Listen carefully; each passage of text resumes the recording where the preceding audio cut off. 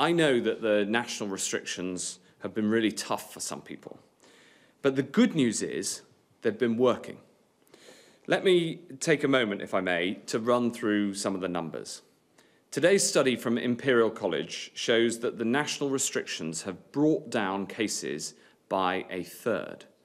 Over the last week, the average number of positive tests is now 14,778, down from a peak of 25,331 on the 16th of November. Today, there are 15,712 patients in hospital right across the UK with coronavirus. That is down from 16,612 on the 23rd of November, a week ago. In England, in the week before the peak, the number of cases grew by 11%, but in the last week, cases have dropped by 30%, almost a third. This is clearly good news. It shows that the national restrictions have been successful.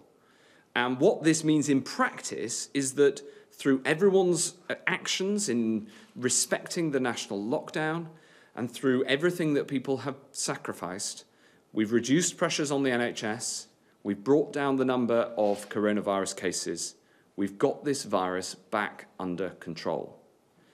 And I want to thank you for that and for the part that you've played.